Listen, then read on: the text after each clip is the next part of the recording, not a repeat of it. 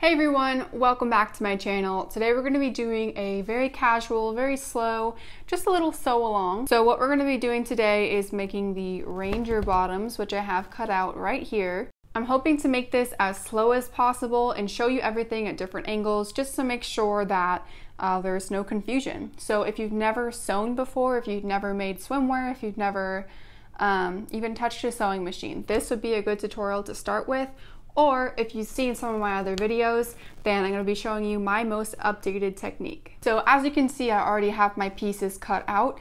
I took the Ranger Bottoms pattern, which of course will be linked in the description, and I cut out two pieces of the front and two pieces of the back, leaving a quarter inch of seam allowance. So as you can see, I'm working with this striped fabric and on the other side, they're gonna be bandana patterns. So these are gonna be fully reversible, completely seamless, and yeah, they're very comfortable. It's our best selling bottom, so hope you enjoy.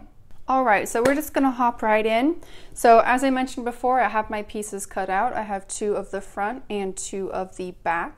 So as you can see, I have one of the front and one of the back, one of the front and one of the back. So other materials we're gonna need, I have my pins, I just have a good pair of scissors, and I also have this rubber elastic. So I got this elastic from sewsassy.com. I'll make sure to link it in the description. It is rubber swimwear elastic. So this is my go-to. Um, I think it's the most durable as far as like chlorine and everything. It's a little bit more difficult to sew with than braided elastic. So if you've never really used elastic or you're not very good at it, then I would recommend starting off with braided swimwear elastic. Now you can do regular braided elastic, however, swimwear elastic is going to be treated so that it can withstand chlorine and salt water. So definitely start with that. Okay, so the first step is we are going to match our fronts and our backs. So lay these out. I'm going to put the fronts and backs with right sides together. So here, as you can see, I'm going to pin all along the leg holes as well as this top seam here. So doing this on both sides, I'm just going to go around and pin everything. And sometimes it's helpful just to put pins uh, down the middle first, just to make sure that as you're pinning, things don't slide around. So once I've done that, I'm just going to go through and pin. Now I used to not use pins at all and my bottoms turned out all right. However, I have started doing more pins just out of principle, but I've also noticed that my quality has improved and I've gotten a lot more consistent. Now, any veteran sewer will tell you to use pins no matter what, but I sometimes cheat.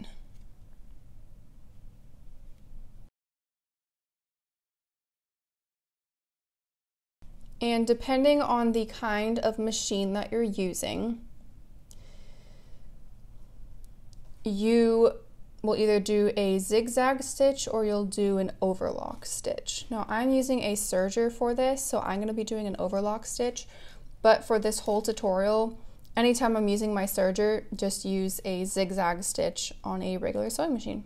It won't quite be up to the same quality, I'd say, and I think that the overlock stitch stretches a lot better than a zigzag stitch. But if you're just learning, then zigzag is a great way to go. I highly recommend learning and getting the methods down solid on a sewing machine before moving on to an actual serger. Okay, just gonna make sure everything's laying flat.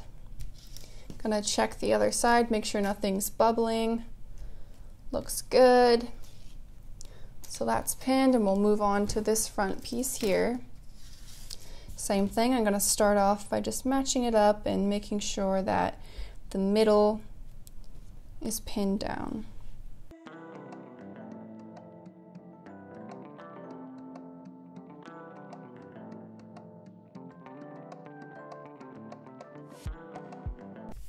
All right, so again, just checking, making sure everything's laying flat. Check the other side. Also looks good, got no bubbling. But now that we've done our pinning, we can actually move on and start sewing. So we're gonna sew exactly where we just pinned. Now, before I move on, I do want to mention that adding the elastic can be done in this step. You can sew these same seams and the elastic all at once. But I do like to split it into two steps. I think that uh, working with slidey knits like this is hard enough, so let's just make it easier. But I am eventually going to be moving on to using an elastic foot, which is a machine attachment where it helps you just focus on this part of it and your elastic will feed through right on top. Okay, so moving right along, we're just going to start serging. And I'm using a three thread overlock stitch. If you're just starting out, I would recommend using a four thread overlock stitch, but today I'm using a three. Uh, as far as thread, I'm using woolly nylon on two of my threads, and one I'm using regular thread just because I ran out of woolly nylon. The woolly nylon, excuse me. So let's just hop right in.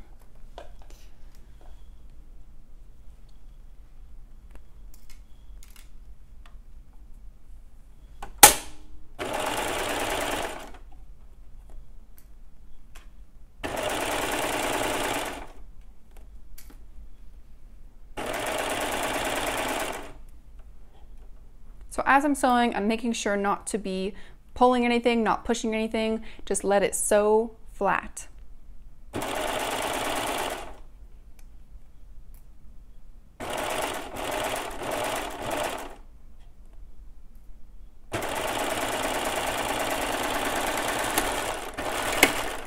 My needle just broke. Be right back. Okay, I'm back. I somehow managed to blast through two needles while trying to fix this, but I think we'll be okay. So just going where we left off, I'm just serging these seams.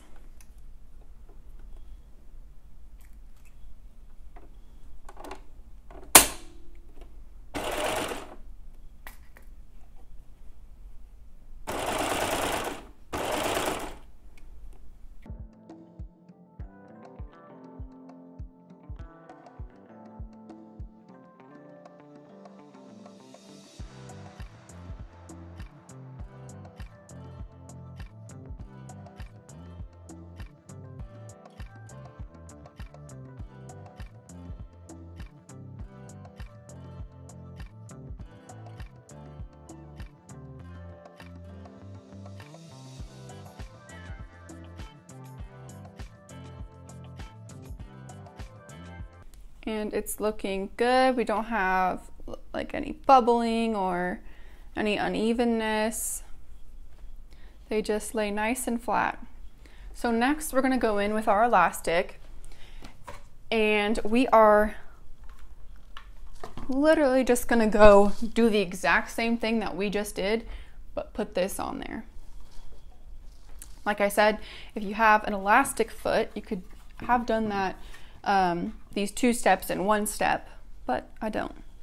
So I'm going to put my elastic on where the bandana side is. And the reason I'm going to do that is because I like the bandana side a little bit more. And I haven't found the best way to make sure that both sides can lay completely flat. Like usually there's going to be some turning on one side depending on where you put the elastic. So if you put the elastic on the side that you favor, so for the bandana side, when you're wearing it on the bandana side, it will fit a lot flatter. So I'm just gonna go in. I'm gonna adjust my stitch length to as long as it can go because the point of this seam now isn't to secure it, it's actually just to attach this elastic. If you're using a zigzag stitch, then you'll do the exact same thing. So as I'm doing this, let's just get it connected first. Okay, so as I'm doing this, I am neither going to stretch this piece, nor am I going to stretch this elastic. So none of this and none of this, but Instead, I want it to essentially go on with no pressure on either. However, because of the mechanics of your machine, that probably won't be the reality. So my trick is in my right hand, I have the elastic and I'm just gonna let it flow through my hand. I'm gonna make sure there's lots of slack over here and I'm just gonna let it flow through my fingers.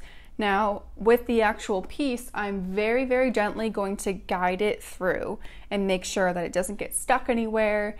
And um, yeah, it'll help the process. So just watch as I do this.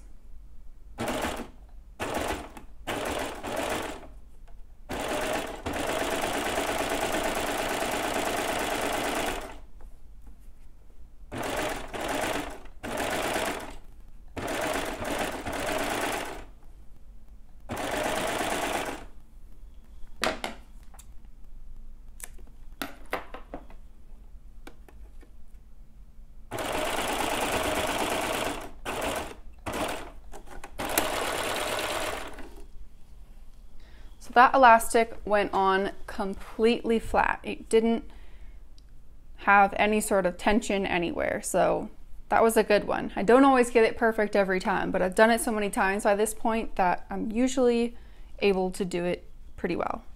So I'm just gonna repeat that with all the rest of the sides.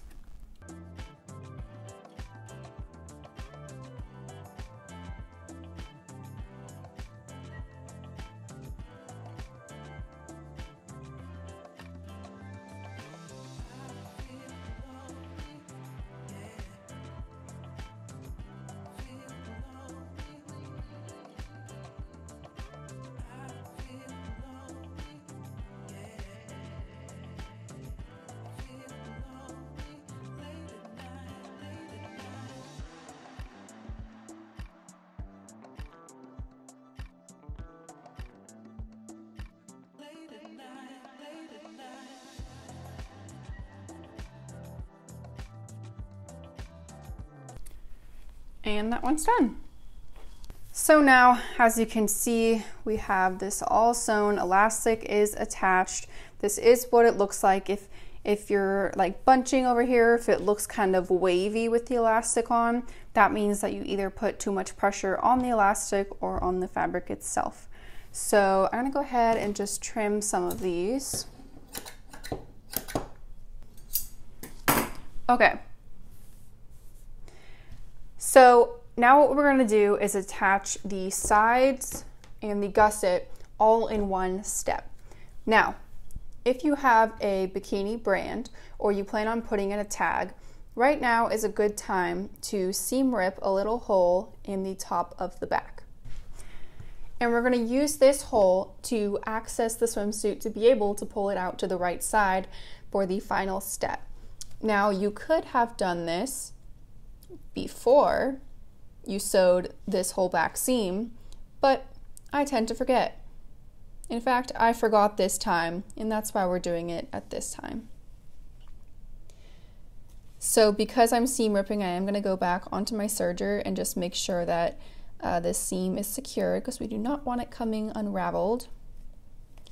So let me just get a few more stitches. All right, so you should be able to access the inside. So I'm gonna quickly hop on over to my serger and I'm just gonna go and just serge like that much on each side just to make sure that these loose threads will not come unraveled.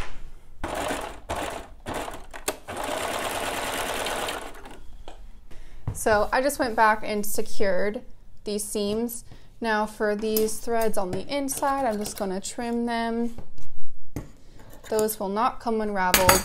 But for these ones, I'm going to tie them in a knot. And then trim them because I really want to make sure that those do not come unraveled. All right.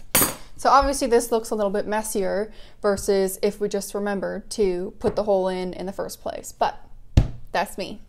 Okay, so the next step, like I said, we're going to be attaching the gusset and the sides. So for this front piece, I'm going to flip it to the right side.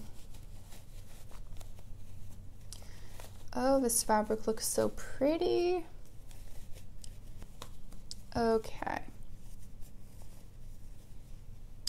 So that is what they look like so far. Here's one side and there is the other. So pretty. And what we're gonna do is we're going to insert this front piece inside of the back piece.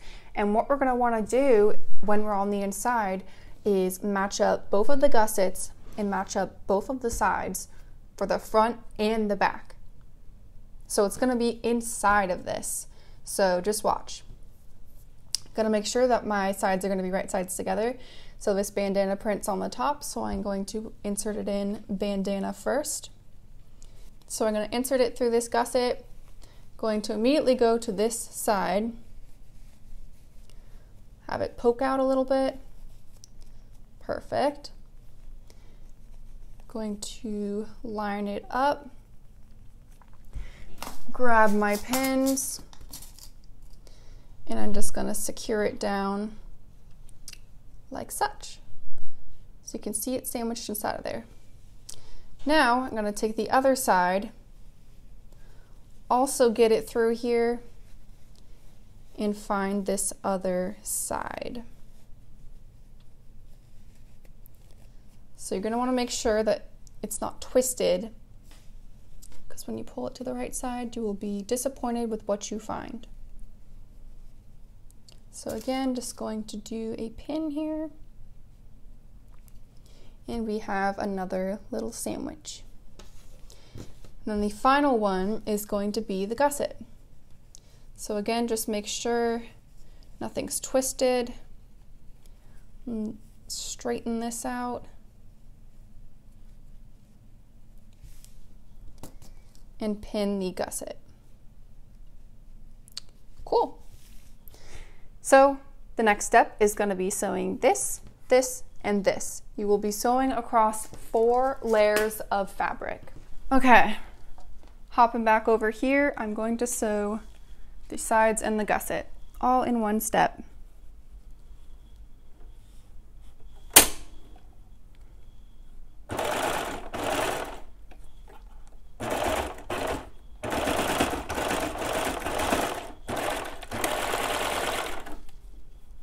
There's one.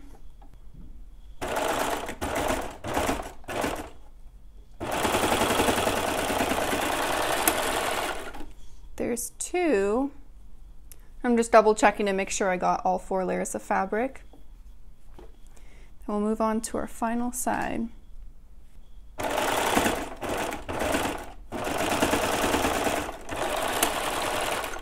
And there's three.